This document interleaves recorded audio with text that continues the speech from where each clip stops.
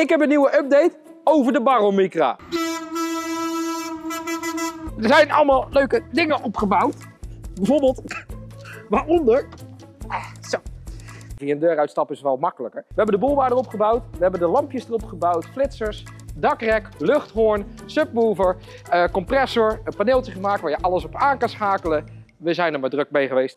Nou, waar ik vooral druk mee bezig ben geweest, is dit paneeltje maken. Het staat nog wel allemaal los en er zitten allemaal nog stekkers aan. Kijk, helemaal zelf gesoldeerd. Zeker in een kastje opgebouwd. Allemaal groepen opgemaakt, dus je kan een groep aanzetten, hoofdschakelaar. Dan gaat er een, uh, normaal een uh, compressortje draaien voor de luchthoorn die erop zit. En allemaal uh, schakelaars voor allemaal verlichting die erop komt. En dit is de leukste knop.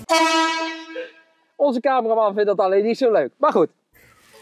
Ik heb aan de achterkant heb ik deze compressor ingebouwd. Die bouwt tot 8 bar op. Daarmee wordt de luchthoorn zeg maar bediend. En natuurlijk een brandblusser, want ik ken mezelf. Um, de subwoofer, dat is een subwoofer die al uh, echt uh, acht jaar geleden in mijn uh, silica heeft gestaan. Staat nu mooi hierin. Moet hem wel een keer vastzetten. Maar goed, heb ik nog leuke andere dingen. Dus we gaan even naar de voorkant toe. And we have this special Lorenzo 19-inch wheels, which are very unique in this country. And they are very zelfgespoten bij mijn vader. Dus dat is altijd heel erg fijn. We gaan naar de boelbaar. En dan vraag je af, is die stevig? Ja, hij zit stevig. Kijk niet naar de lasnaden. Maar we hebben ook natuurlijk nog verstralertjes erop, werklampen en de knippertjes.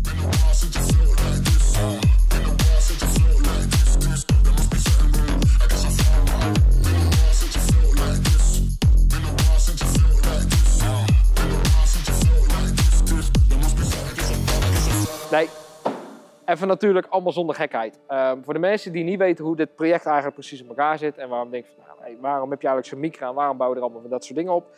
Ik heb ooit al eens een keer een video erover gemaakt. Deze auto is van mijn opa geweest. Die heeft die auto in 1994 nieuw gekocht.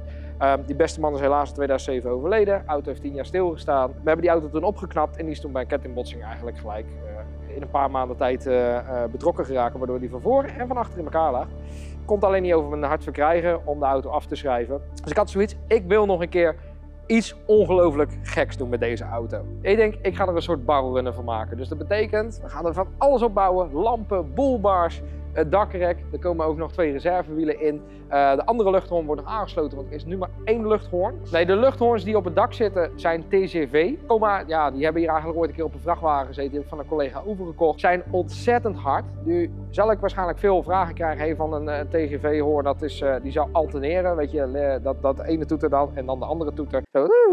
Ik heb het relais er niet tussen gezet, dus bij mij gaan ze gewoon allebei op vol blast.